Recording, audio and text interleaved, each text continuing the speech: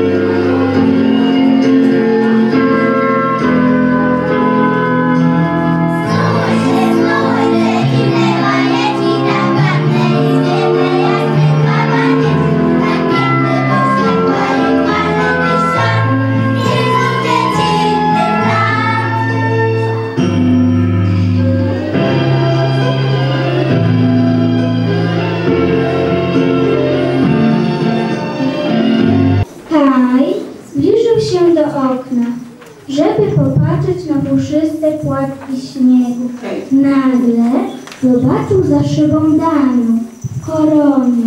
To była królowa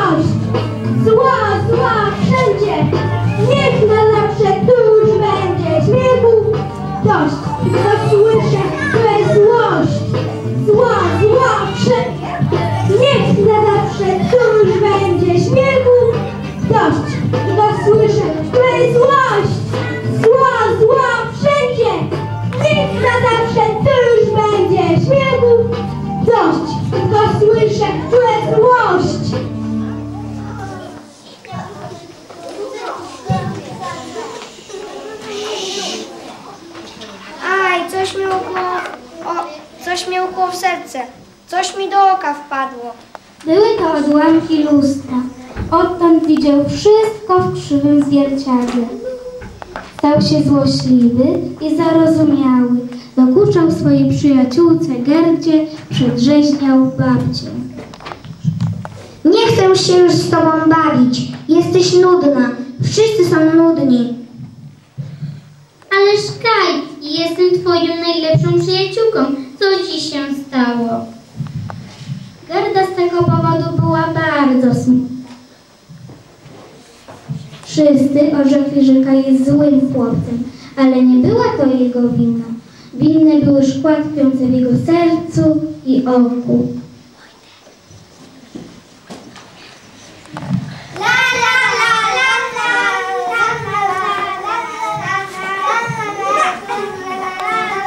Pewnego dnia miał się odbyć w mieście Kuli. Kaj wziął sanki i pobiegł na wielki przez cały czas dokuczał im. Nie potraficie tak jak ja jeździć na sankach. Ja jestem najlepszy. Nikt mi nie równa. Daj nam spokój, nie chcemy się z tobą bawić! Nagle Kaj dostrzegł duże białe sanie. Bez namysłu przywiązał do nich swoje saneczki. Zaprzęg popchnął dal. Potem niwelu przystanęły, a z białych sań wychyliła się królowa śniegu.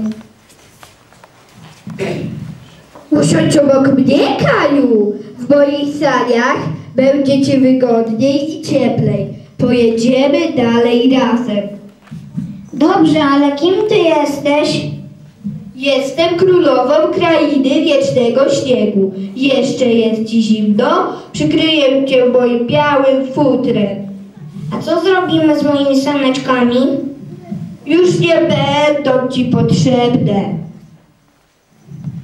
Królowa śniegu pochyliła się nad chłopcem i przesłała mu pocałunek, a wtedy Kaj zapomniał o babci, Jarce i wszystkich, których znał.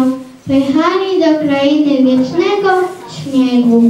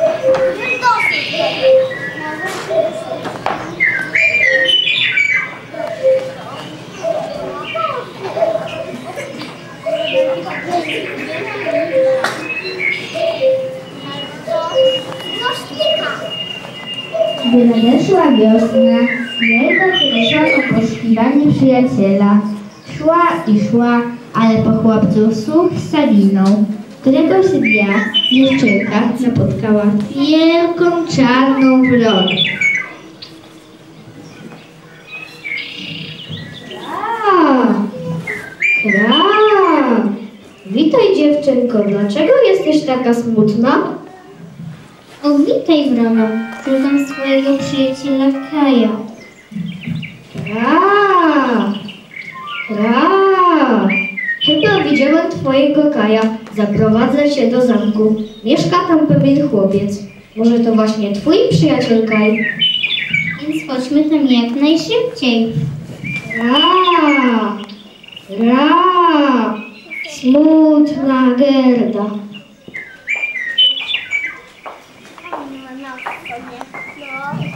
Szli bardzo szybko, ale Gerda nie czuła zmęczenia.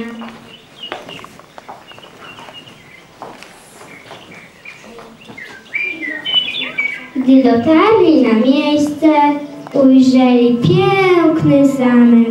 Na spotkanie im wyszli księżniczka i książę. Witajcie w naszym zamku. Co was do nas sprowadza? Szukam swojego przyjaciela Kaja. Myślałam, że go tutaj odnajdę.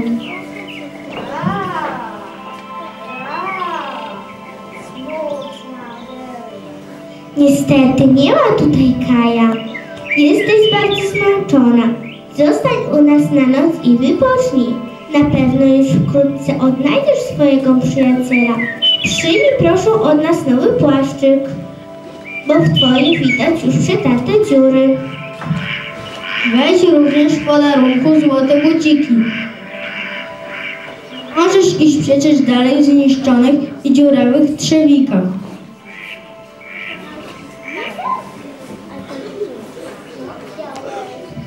Bardzo Wam dziękuję.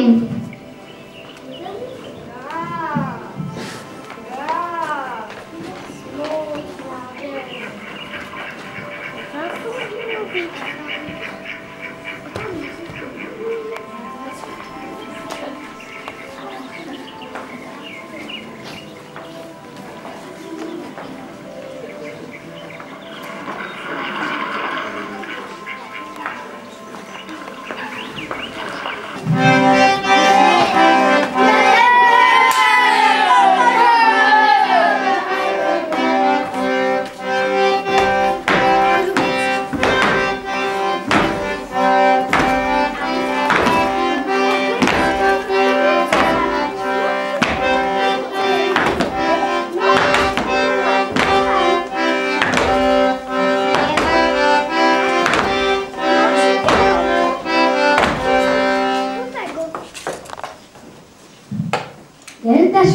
ciemny las.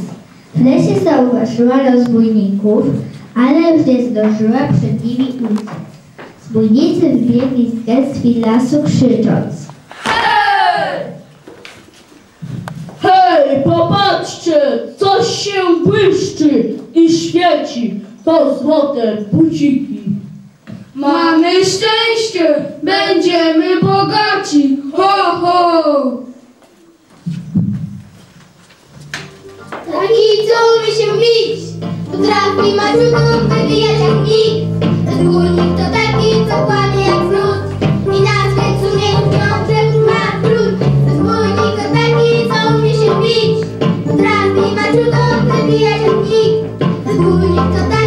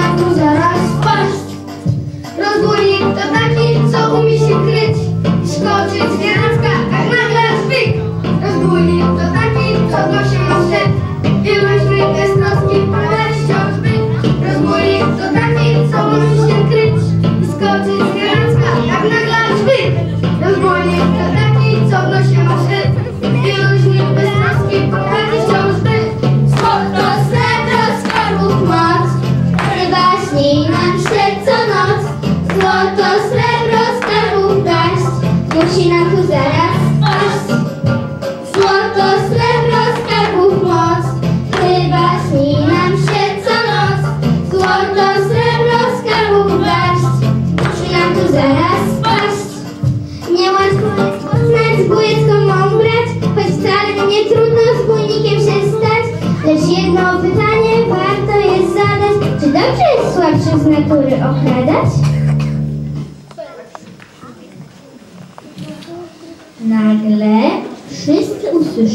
głos.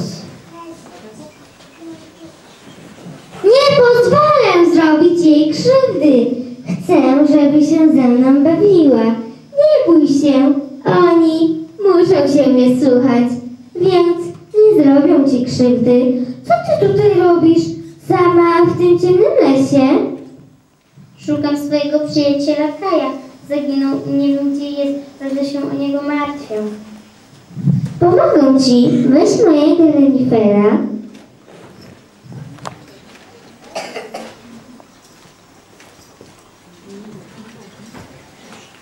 I trochę jedzenia. Elda podziękowała rozbójniczce i wy- i wyruszyła w dalszą drogę. Mądry renifer dał na północ co tchu. W pewnej chwili zatrzymał się. Dalej musisz iść sama. Nie wolno przekroczyć granicy do nowego królestwa. Żegnaj reniferze, wracaj bezpiecznie do domu. Dziękuję Ci za pomoc.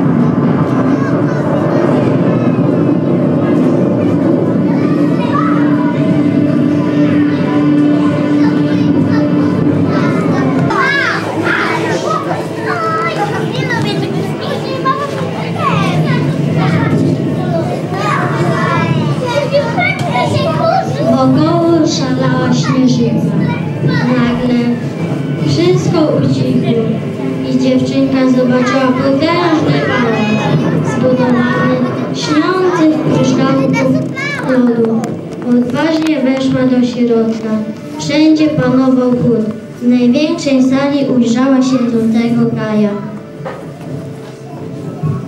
Kaju, wreszcie Cię odnalazłam. Tak bardzo się martwiłam. Kim jesteś? Nie przeszkadzaj mi. Muszę ułożyć z kawałków lodu słowo wieczność. Kazała mi to zrobić królowa śniegu. To jej pałac. Idź lepiej stąd. Nigdzie bez Ciebie nie pójdę. Łzy gardy spłynęły na pierś Kaja i przeniknęły do jego serca. Spłukały okrąg czarodziejskiego szkła, który tam tkwił. O, Gerdo, to ty. Tyle dla mnie wycierpiałaś, kochana przyjaciółko. Kaj rozpłakał się, a płacząc pozbył się tkwiącego pod powieką odłamku lustra i w tej właśnie chwili nadeszła królowa śniegu.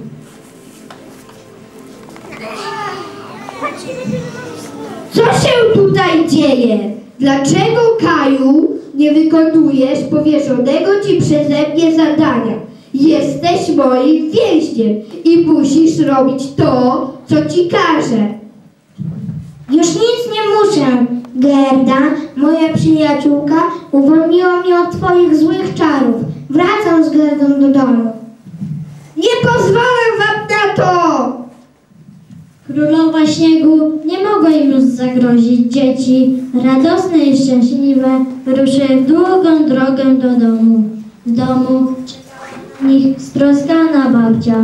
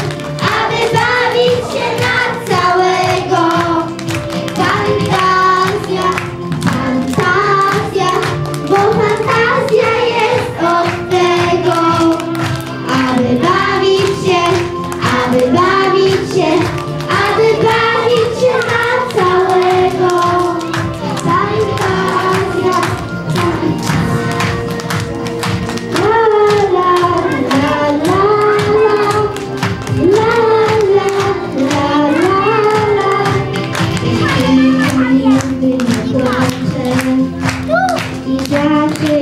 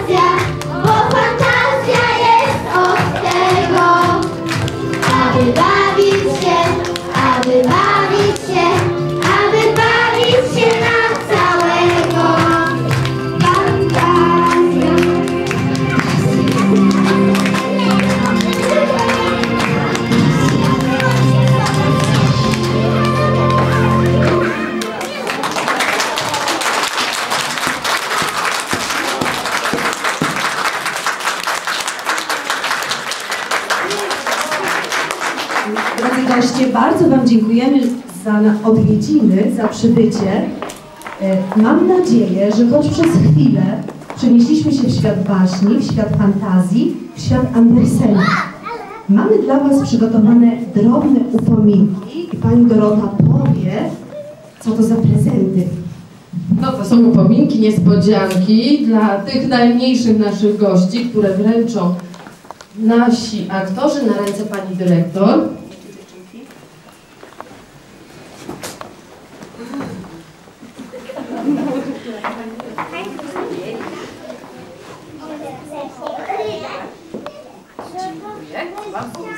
Jak to użyć? To są e, kolorowanki, które myślimy, że zostaną właśnie wykorzystane jako wspomnienie naszego przedstawienia. Mamy nadzieję, drodzy goście, że bawiliście się tak dobrze jak my, już po raz któryś. Mam nadzieję, że jeszcze nie raz się spotkamy. Może, może my Was odwiedzimy, może Wy do nas przyjdziecie. Więc do usłyszenia i do zobaczenia. Dziękuję jeszcze raz. Powiedzmy wszyscy ładnie. Ja w imieniu przedszkola mogę tylko powiedzieć, bo widziałam reakcję dzieci, że były bardzo zadowolone.